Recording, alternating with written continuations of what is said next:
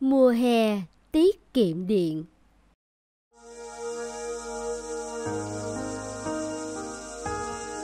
Hay, nóng quá đi mất. Sao mà hôm nay thời tiết khó chịu thế này? Chào ông. Anh ra đồng về đấy à. Nắng nôi thế này mà vác cuốc ra đồng được. Tôi cũng đến phục anh đấy.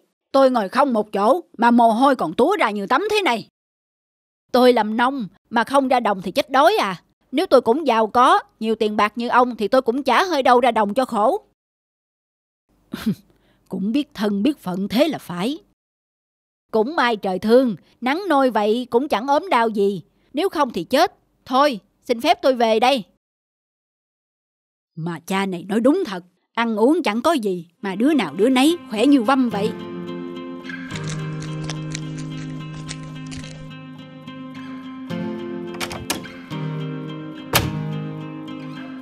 Cứ ở trong hòm đi Ta sẽ không để ai đụng đến vàng yêu vàng quý của ta đâu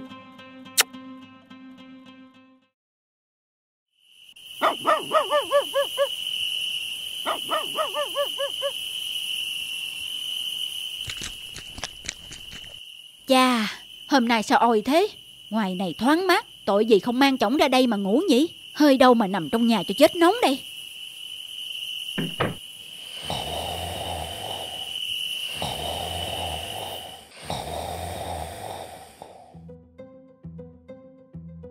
Phải gài cho thật chắc, thời buổi trộm cắp như rươi, đến ra cái là mất của như chơi. ấy chết, quên mất còn cái cửa sổ. Đóng kính thế này thì ngột ngạt quá, nhưng mà kệ, cứ là phải cho chắc. Ai, nóng thế, chết mất thôi. Tiếng gì thế nhỉ? Mình đã khóa cửa cẩn thận lắm rồi mà. Chả nhẽ có trộm, phải đem vàng lên giường liền bên cạnh cho chắc ăn.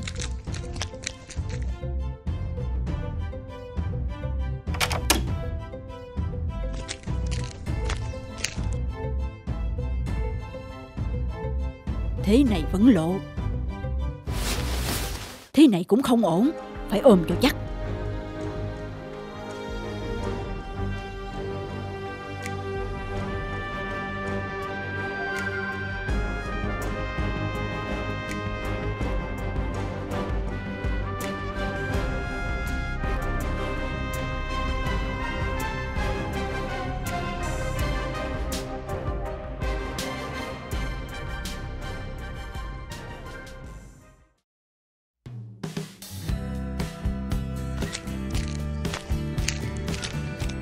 Ông dậy rồi đấy ạ. À? Sao trong ông hôm nay mệt mỏi như người mất ngủ lâu ngày vậy? Cả tuần nay ta không hôm nào chợp mắt được tí nào. Phát ốm lên rồi. Sao khổ thế ông? Trả bù cho tôi Cứ đặt lưng xuống là đánh một mạch tới sáng luôn. Nóng thế mà anh vẫn ngủ được à? Tôi đến phục anh đấy. Thì trời trăng thanh gió mát Có gì mà nóng? Cửa mở toan ra. Nếu không Ông vác sập ra sân nằm có mà mát như đàn ấy chứ. Cái gì? Anh có bị làm sao không đấy? Đi ngủ mà mở toan cửa nã như vậy hay sao? Để trộm nó mà khoắn hết à. Ờ à, à, Tôi hiểu Rõ là khổ. Nhất là ngày mai nóng thế nào đi nữa Mình cứ là phải đóng cửa Cài chặt kính mít. Bảy điều ước. Ngày xưa có hai vợ chồng bác nông dân sinh được hai người con trai. Người anh thì tham lam, lười biếng, còn người em thì thật thà, tốt bụng, chăm chỉ. Khi cha mẹ còn sống, người anh chỉ biết dựa dẫm vào cha mẹ. Khi cha mẹ qua đời, anh ta chỉ biết sống dựa dẫm vào người em. Sao anh không chịu kiếm một công việc để làm đi? Suốt ngày rượu chè thế này thì làm gì có tương lai chứ? Tương lai ư? Ở cái nhà tranh tồi tàn, nghèo túng này, anh còn mong mỏi gì đến tương lai nữa. Tương lai của chúng ta toàn màu u ám thôi. Nếu anh chăm chỉ làm lụng, kiểu gì tương lai anh cũng tươi sáng. Đằng này, anh lại suốt ngày rượu chè, cờ bạc. Đợt rồi cũng may em tích góp đủ tiền để chuộc lại căn nhà tranh này của bố mẹ. Nếu không thì chúng ta không có chỗ để mà ở nữa rồi đó.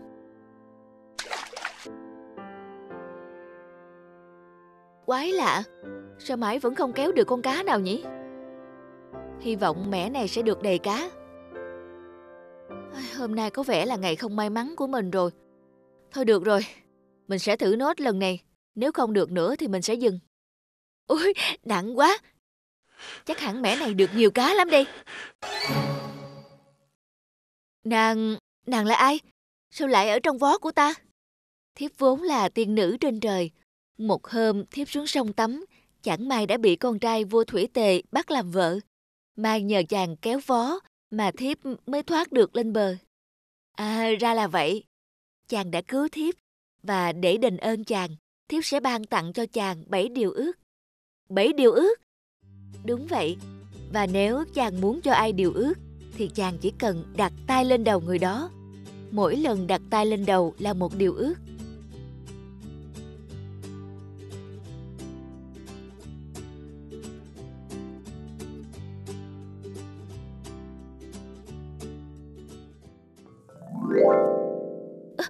Cô gái, nàng đâu rồi? Ôi, là thật hay là mơ đây?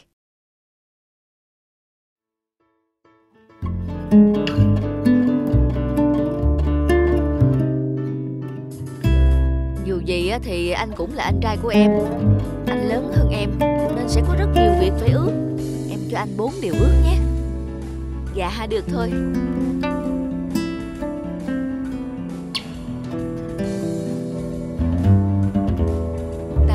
một biệt phủ nguy nga Lộng lẫy chứa đầy vàng bạc châu báu.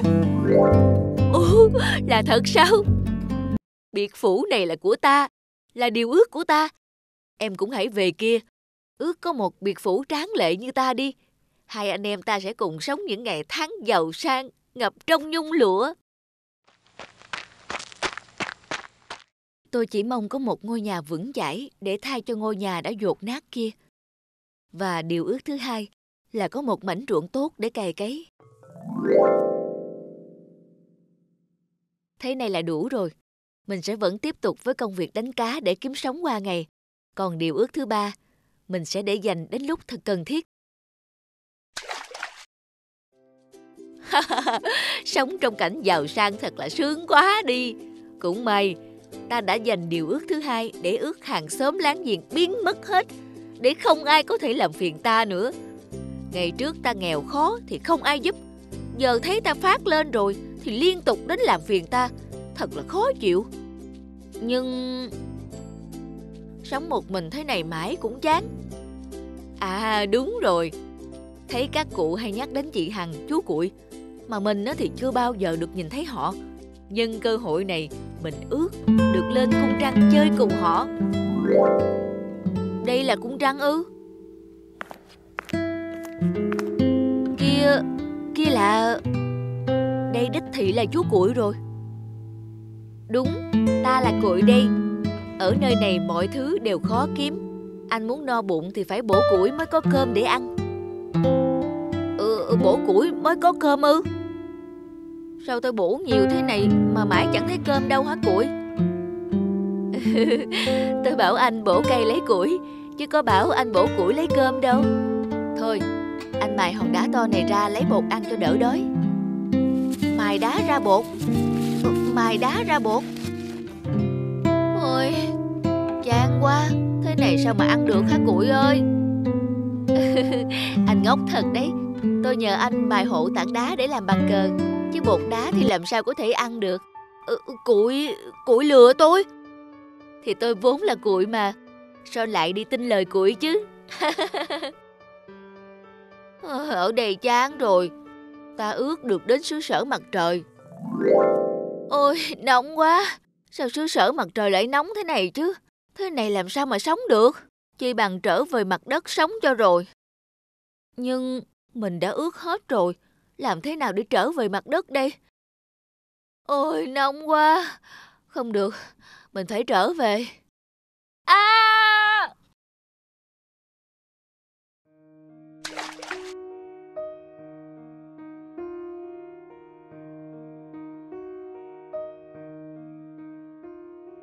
Anh, anh tỉnh lại đi, anh ơi. Không thở. Trời ơi, anh mình chết rồi sao? Không được, Anh ơi, anh tỉnh lại đi. Anh tỉnh lại đi. Sao lại ra nông nổi này? Ai cứu anh tôi với? Đúng rồi, mình còn một điều ước của nàng tiên ban cho. Mình sẽ dành điều ước này cho anh. Điều ước cuối cùng, tôi ước anh tôi được sống lại. Anh, anh tỉnh lại rồi hả? Ôi, anh tưởng sẽ không bao giờ được gặp lại em nữa chứ. Thật may là anh đã trở về. Bao ngày nay anh mất tích. Anh có biết em lo lắng cho anh lắm không? Anh xin lỗi. Cũng tại anh, do anh tham lam, lười biếng, nhưng lại muốn sống sang giàu. Suýt chút nữa đã tự hại bản thân mình rồi. Anh thật là xấu hổ. Không sao đâu anh. Anh đã trở về, đã sống lại. Chỉ cần anh bỏ rượu chè, chăm chỉ làm lụng. Kiểu gì cũng có ngày hai anh em mình được sống hạnh phúc và vui vẻ. Nhất định rồi, anh hứa, từ nay anh sẽ chăm chỉ làm ăn. Người bạn nhỏ của tôi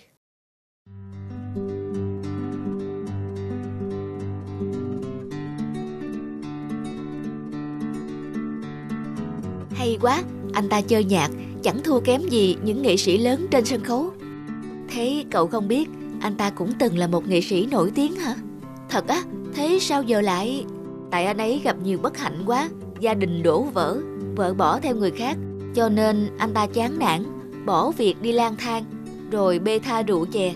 Khi nào hết tiền uống rượu á, thì anh ta lại đàn dạo, chứ bình thường hiếm thấy anh ta chơi đàn lắm. Thế thì thật tội nghiệp.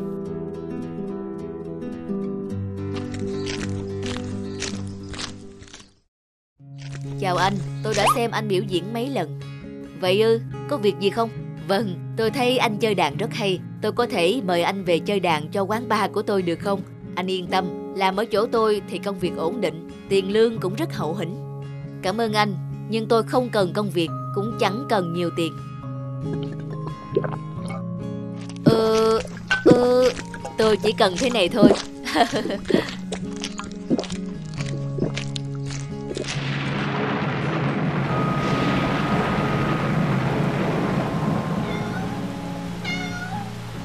Ồ, một con mèo hoang. Mày đang bị thương à? Tội nghiệp, có vẻ đau đớn lắm nhỉ? Mày cũng lạc lõng Đơn độc và đau đớn Như tao vậy. Được rồi, để kẻ cô độc này chăm sóc cho nào.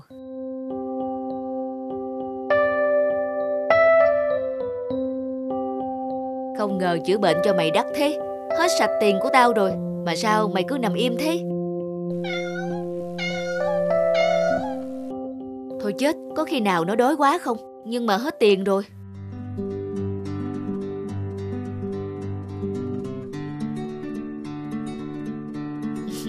Vì mày mà hôm nay tao phải làm việc gấp hai lần đấy. Hay, rồi đây, ngoài tiền rượu ra, tao phải lo một khoản không nhỏ, tiền ăn và tiền thuốc cho mày rồi.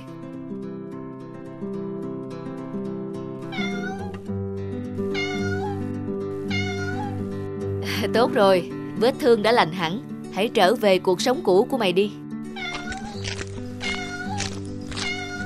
Quen hơi rồi không nở xa nhau ư. Nhưng tao chỉ là một kẻ lang thang nay đây mai đó. Làm sao có thể cho mày ở bên cạnh được? Hay, Thôi được rồi.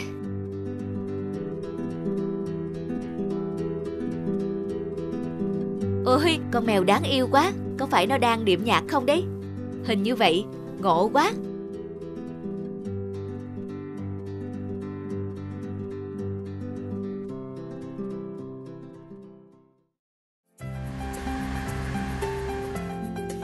Người chơi guitar giỏi mà anh nói đang ở trong này à? Vâng, đúng vậy, anh ta là chủ quán đấy. Chủ quán ư? Được rồi. Xin lỗi, chủ quán có đây không? Vâng, tôi đây. Ờ, là anh sao? Người đánh đàn dạo hồi nào?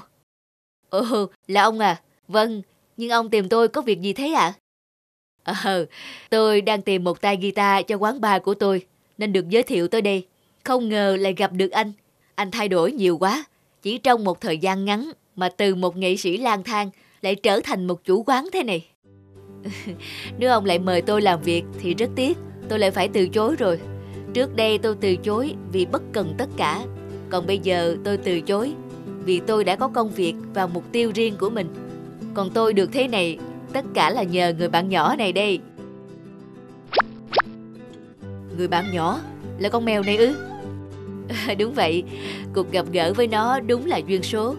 Nó đã giúp tôi bớt cô đơn chán nản, sống tích cực hơn, bỏ được rượu, lại còn hỗ trợ tôi biểu diễn làm tăng thu nhập. Và thành quả ngày nay ông cũng thấy rồi đấy. đúng là một thay đổi đáng mừng. Quả là một người bạn nhỏ tuyệt vời. Điều kỳ diệu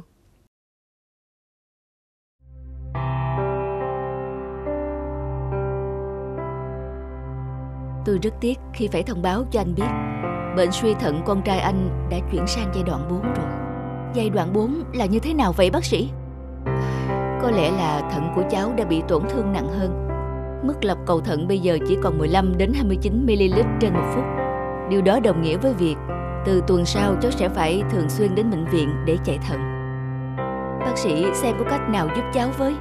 Nhìn thấy con như vậy, Em thấy xót lắm. Cách tốt nhất với cháu là thay thận.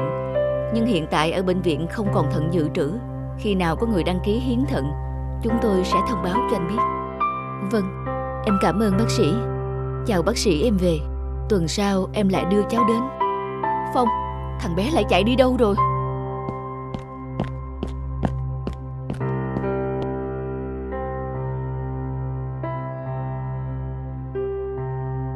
Phong, sao con ở đây? Con con... Con... con cái gì? Con để bố đi tìm mãi. Muộn rồi, bố con mình về thôi. Vâng ạ. Cháu chào bác, cháu về trước đây ạ.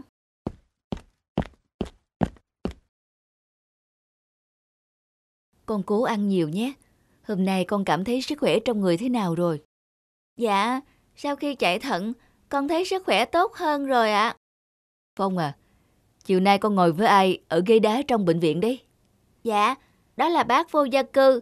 Bác ấy mới chuyển đến sống ở khu phố nhà mình. Mấy lần con đi học về, đều gặp bác ấy đi nhặt rác. Lần sau bố cấm con, không được tiếp xúc với người đó, nghe chưa? Nhưng tại sao ạ? À? Con thấy ông bác ấy rất thân thiện mà. Nhưng người như thế, nay đi đến chỗ này, mai đi đến chỗ nọ. Mình chẳng biết họ là ai. Nhớ là người xấu thì sao? Tốt nhất là con không nên tiếp xúc nữa Bố không muốn nhắc lại chuyện này nữa đâu. Dạ.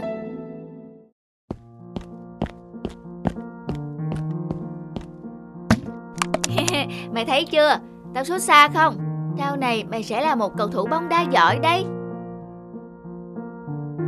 Cháu, cháu chào, chào bác, bác ạ. À.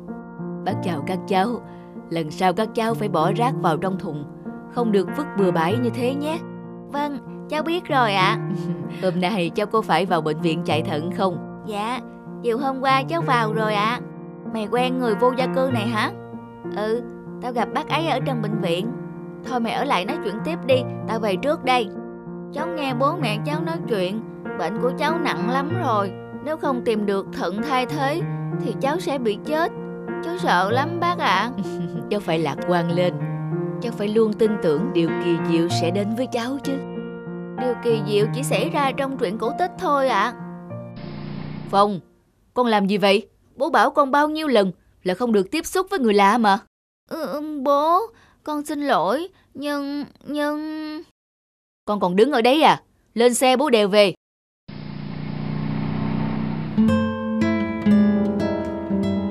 Con hay thật đấy, sao không biết nghe lời bố vậy? Con, con xin lỗi, nhưng bác ấy trông rất đáng thương. Bác ấy không xấu như bố nghĩ đâu. Con còn bé nên không biết gì. Con chỉ nhìn thấy bề ngoài của người ta mà không hiểu lòng dạ bên trong. Nhớ ông ta lừa con bán đi thì sao? Bố đừng nghĩ oan cho người khác. Con bệnh nặng thế này Thì ai còn muốn lừa con nữa. Con hơi mệt. Con lên phòng nghỉ đây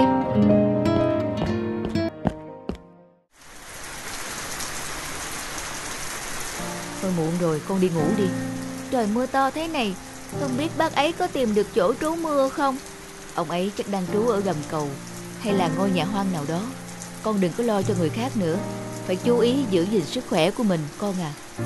Bố ơi con nghe bố mẹ nói chuyện. Bệnh của con nặng lắm phải không ạ? À? ừ, ừ không không đâu. Chắc con nghe nhầm đấy. Bác sĩ nói với bố là con sẽ sớm khỏe thôi. Con phải lạc quan lên chứ. Bác ấy cũng nói với con như vậy. Bác ấy bảo điều kỳ diệu sẽ đến với con bố ạ à. Bố cũng luôn hy vọng điều kỳ diệu sẽ đến với con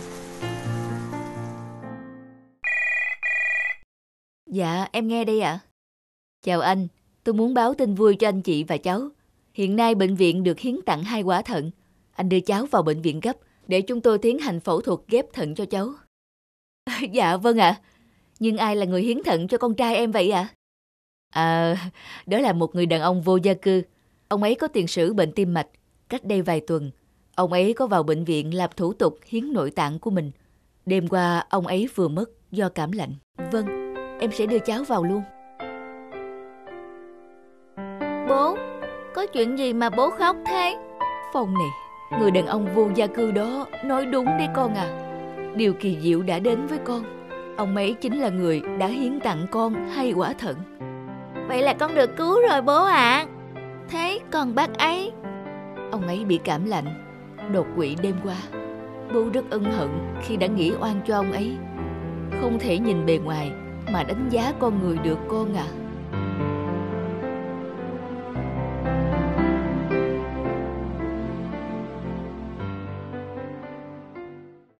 báo tường và chiếc tẩy nghịch ngợm.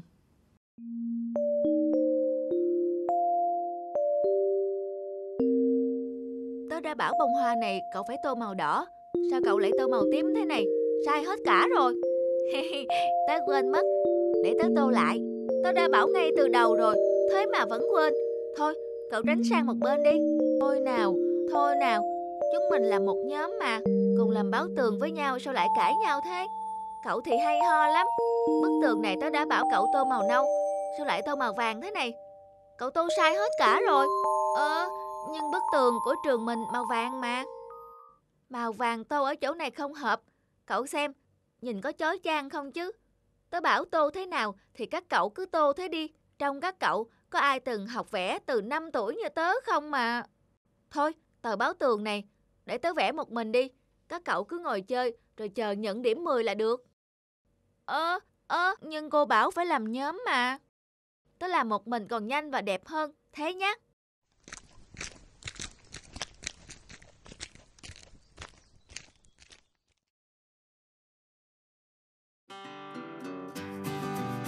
Ơi, đi ngủ đi con, khuya rồi đấy.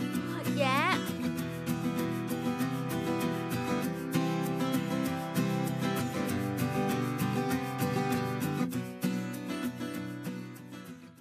Tờ báo tường mình vẽ đâu rồi nhỉ? Duy ơi, nhanh xuống ăn sáng còn đi học con. Dạ. Rõ ràng hôm qua mình vẽ xong rồi mới đi ngủ mà. Duy. Ôi, các cậu đấy hả? Vẽ xong báo tường chưa? Chiều mai nộp rồi đấy. Ờ, ờ, tất nhiên là xong rồi. Duy ơi, đi ngủ đi con. Dạ, con sắp xong rồi mẹ ơi.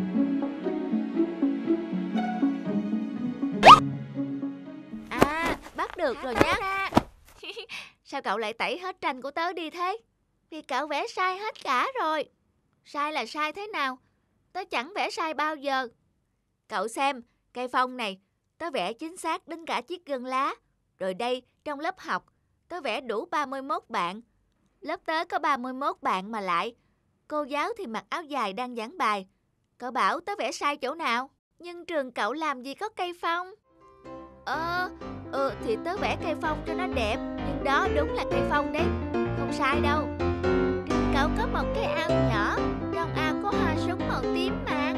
Ờ, nhưng màu tím hợp. Phối màu thế tớ thấy quê quê. Cậu vẽ bạn nào đây? Tân đấy Tân ngồi đầu bàn. Trong Tân rất hiền lành mà Đâu phải thế này. Ờ, thế hả?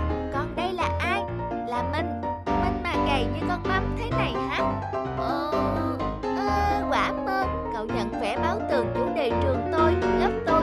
Mà cậu lại vẽ đâu đâu thì rõ là sai rồi. Chiều mai tớ phải nộp báo tường rồi, phải làm sao đây? Kệ cậu, tớ phải vẽ những gì thì cậu mới không tẩy đi Cậu nhớ xem lại Tân trông thế nào Minh trông thế nào Cô giáo có đúng là mặc áo dài giảng bài không? Còn cái ao ở sân trường cậu Cậu đã bao giờ ra đó chơi chưa? À, có lần bọn tớ đứng chơi gần ao. Tân bị trượt chân ngã xuống ao. Lúc lên bờ, trong túi quần cậu ấy có một con ếch, rồi con ếch cứ nhảy theo cậu ấy về nhà, buồn cười lắm. Cậu những gì thật gần gũi với cậu. Đây là báo tường mà. Để trường mình lớp mình mà. Nơi đó đâu có xa xôi, nó ở ngay gần cậu. Tuy bình dị, mộc mạc, nhưng là nơi cậu cùng các bạn học bài, cùng chơi đùa, cùng vui vẻ. Tân ơi, Minh ơi, đợi tớ với. Duy hả? Các cậu ơi, báo tường ấy, tớ vẫn chưa tô màu xong đâu, tớ xin lỗi nhé. Thấy ra chơi, bọn mình cùng tô, cảm ơn các cậu. Giống thật, Tân còn nhớ con ếch, bạn thân của cậu không Tân? Sao mà quên nổi, nó theo tớ vào tận phòng ngủ, tối đến là nó kêu, cả nhà tớ một dạo mất ngủ vì nó đó. ốp cậu đây này Tân, trông đúng là tớ thật, mày mũi sáng láng ghê. Còn cậu đây này, À ha, để tới tô cậu mặc áo hồng nhé. Tớ có mặc áo hồng bao giờ đâu. Kệ cậu, tớ cứ tô thế đấy. Không ai sống một mình được, chúng ta sống bên nhau, cùng nhau chia sẻ niềm vui, trách nhiệm, nỗi lo lắng, cùng chia sẻ những kỷ niệm và những nơi thân thương nhất của chúng ta.